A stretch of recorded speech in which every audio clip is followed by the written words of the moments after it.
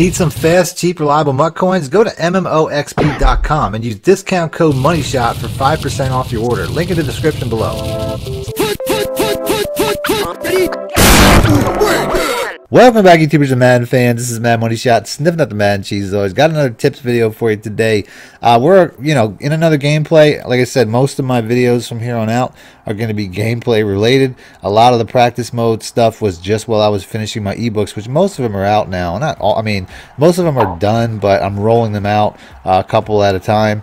Uh, so I got about three of them on my site right now. Uh, link in the description below if you guys want to check that out. But ultimately, I don't have to spend as much time doing that, so I can spend more time uh, making these gameplays fun and you know doing all the extra editing. So that's exactly what I'm going to be doing. I'll still probably do a practice mode video like once or twice a week for people that prefer that, uh, that learn easier that way. But like I said, it's gameplay going forward. So starting off on offense, I'm using the Ravens playbook. And pretty much every series you see is going to be something that I put out, like this Power I uh, formation I've just put out. Um, I start off kind of slow in the game, which is kind of typical of me. I, for some reason, I'm a, I'm a slow starter, so first run doesn't really work out. Uh, next series, I'm going to go to the Heisman uh, formation, which I also just put out. I think that was my Saturday video.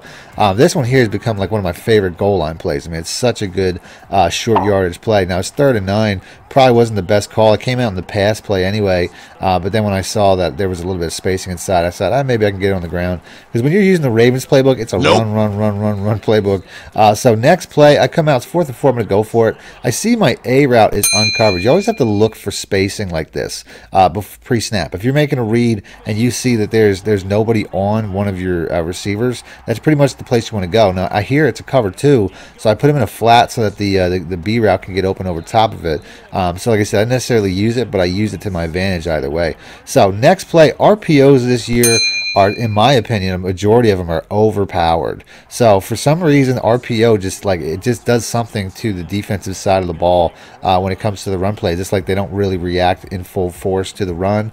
Like right here, you can see huge lane. I don't think that that should be the case. But when I was doing all my labbing, I couldn't help but notice like the majority of RPO runs are just really consistent, really explosive, and I think that's something that they tweaked this year. So next play, I'm going to hit him with a, a triple option, uh, which is also something that I like. Uh, you know, I run into a wall. Um, I mean, I, I, I did put a running back. Typically, want to put a running back there, but I thought with Darren Waller, he'd be fast enough.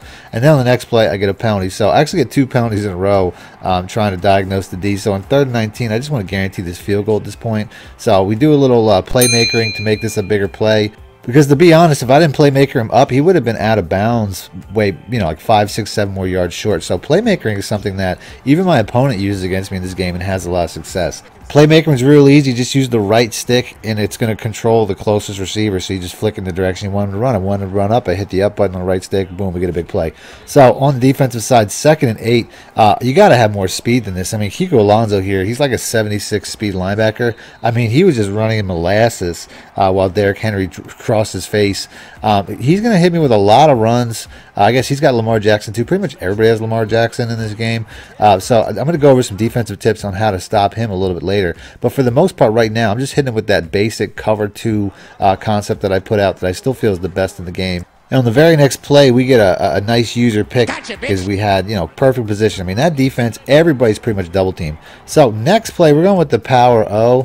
This is not something that I've put out so far. I mean, all I really do, I flip the play based off the fact there's so much blocking to the right. Your opponent typically has to respect that. And he starts off way out of position on the right side, expecting the run to go over there. And there's nothing with space. Then we're going to hit him with, uh, I mean, the fullback dive from this exact same formation. I mean, there's so many good schemes from this playbook.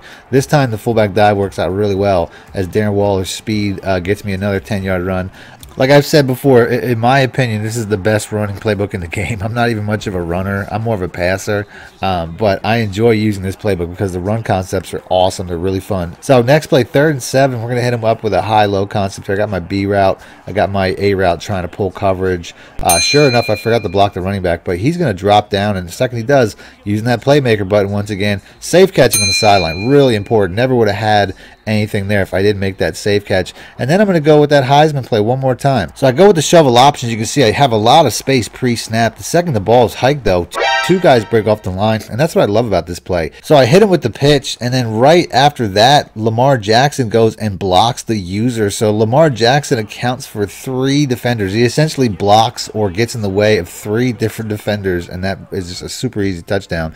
So back on the defensive side with about a minute left, up 10 nothing. Still using that cover two defense. It's a completely shut down pass defense. All I'm doing is putting a defensive end in a flat, and that's pretty much it. I mean, a curl flat in this case because, you know, I think that's actually a better defense. You can see here, I mean, it does a pretty good job of stopping the run, even with this setup. All I'm really doing to set this defense up is pretty simple. I'm putting one of the defensive ends in a flat in the direction that either has the most receivers or the most space on that side of the field. In this instance, it's both, so it's really simple, but sometimes you'll have to make that decision based off of your opponent's tendencies. But this defense works really well. You'll see throughout the game. I mean, a lot of times like half my team, half the, the, the receivers on the field are double teamed. That right there, I probably should have stuck with the drag, but ultimately I, I moved on to the next crossing receiver. It happens. That's probably one of the best ways to beat it. Very next play, I switch it up and go with a cover two invert because I'm expecting run. I played too far down the box, and by the time I get back, I mean, this guy, that was my area. I should have been covering that. I was almost there for a pick, but just off enough that he makes a big play. So I, I, I probably should have stuck with that cover two. Never would have happened against the cover two. But even though that was my fault and I'm giving up a touchdown because of it, ultimately zones are not very good. As you'll see throughout this gameplay, you really have to be using man coverages, which I think most people have figured out by now. Uh, I'm going to show you guys a quick one-play touchdown against cover three and cover four, though. The PA wide receiver fork. I get the ball back with eight seconds, but there's a touchdown to be had here if I just had a little bit more speed. As you can see, this X route here crosses, gets behind the cover four my opponent was running. Just like I said, not a good enough receiver, not enough speed to make that play happen. So second half, all of a sudden, it's a tight game. Uh, my opponent's going to hit me with that read option one more time. And the defense does a pretty nope. good job of snuffing that out. Um, I didn't even really have to do anything there. The cornerback just made the play.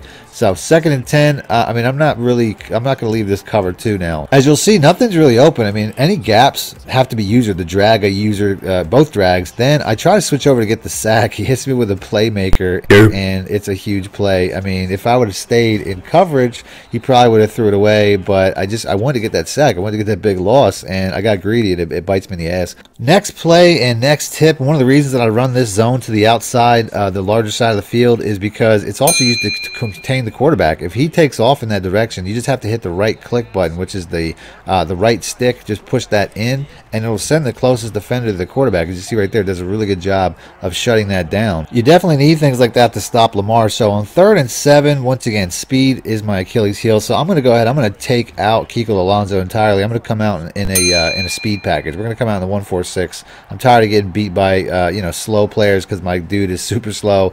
And sure enough, I mean, look at this. He hits me with another run. The backside cornerback makes the play. So we're going to finish this drive with this formation. We're going to head with the cover two version. This is another scheme that uh, I put out last year that still has a lot of success. Um, as you can see, I almost get the pick right there, uh, but I was using a defensive end in Bosa, and he just didn't have the hands. So then on the last play, we hit him with the cross three fire. This is another one on the third and long.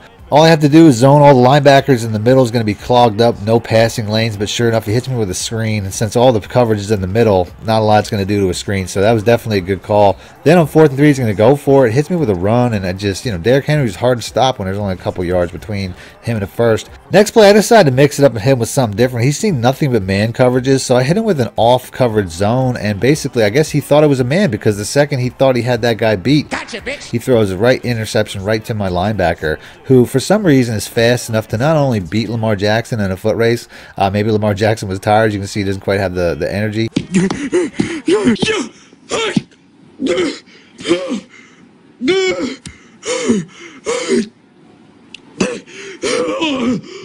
Uh, but he doesn't he doesn't just beat him in a one on one. He, he passes him. Where's the hustle there, Lamar? Uh, so then the next series of play, Justin Smith absolutely goes off. This guy right here, in my opinion, is one of the best uh, defensive ends in the game right now. If you can get this card on the next play, he's getting double teamed, just gets right through it and gets a sack. I mean, that's two plays in a row that he's just wreaking havoc in the backfield. So if you if you want a good player, if you want a good defensive end that gets pressure, Justin Smith, I noticed, does a really good job of that. So third and 20, we're hitting him with, uh, uh you know, cover two one more time, and then he throws it up. But I guess he's desperate. It's fourth quarter, and we're getting another pick. So Richard Sherman's coming back with it. You know, this is just about game over. So I'll show you guys one more scheme. The halfback inside zone out of the single wing pair, I think it's also known as the ace pair, is a really good run play, especially when there's, I mean, this formation is just you know, typically forces a defensive shift that they might not necessarily want, where it gives you space to the outside here. And then the second best play out of this, what I'm gonna hit him with, the, going the opposite direction, is a stretch alert lookie. Like I said, these these RPOs are really good plays. And on the very next play, I mean, that dude blocked two guys, make the make the safety miss, and we're scoring a touchdown. So that's pretty much gonna ice the game. Uh, but like I said, my opponent doesn't give up, so we're gonna go we're gonna go for two because we did miss a field goal earlier, an extra point earlier, and we just hit him with a really simple inside zone. I love Warrick Dunn, man. He's such a good running back. Same way I say you should get Justin Smith on defense, Warrick Dunn on offense is a is a playmaker. So on the next series, uh, we're just gonna hit him with that cover two again. You can see here everything's shut down. I mean, this cover two mix is one of the hardest defenses in the game to pass against. You're not gonna pass on it. So next play, man, I can just show you how how much this just double teams everything. See right here, this both receivers are double teamed off the line. Uh, I'm basically double teaming every receiver I want over the middle, and then sure enough, over the top double team. we have everybody's double team. Like I said, this is just if you if you don't if you haven't figured this out yet, if you're not running this defense yet, you don't know what you're missing. Next play though, I don't know what happens here. My cornerback just gets roasted off the line, and I don't like I said, I have no idea if that's a route that's des- that designed that way or what happened or what he what he did. I have no idea, but he finally finds a way to beat it. I got to figure that out because it is really hard to make big plays against cover two, and he just figured one out. So he tries to go for the onside, doesn't work which gives me enough time to show you guys one more tip, a really good cover four quarters beater called the PA deep outs. Um, whenever you see safety spread like this, it's either an all-out man blitz or a cover four quarters, which is exactly what it is. All you got to do is put the A right here on a comeback, and you're going to see how this Y route is going to beast this. Even though I have George Kittle running that route, which typically I want more speed, he just gets behind the defense. You can see right here, we're just going to float it up hit him with a walk-off home run, and that's it. That's all she wrote. So he's going to go. He's going to pull the cord. I mean, there's no real reason to keep playing. So that's it. That's the vid. If you guys want to see more videos like this, let me know in the comment section with the like button. I'll do that next. Other than that, thanks for watching, man. Money shit out. Need more help or just want to show your support? Then head over to my Patreon and join my team, where you can get exclusive content like ebooks and bonus plays, as well as early access to my vids and more. Link in the description below.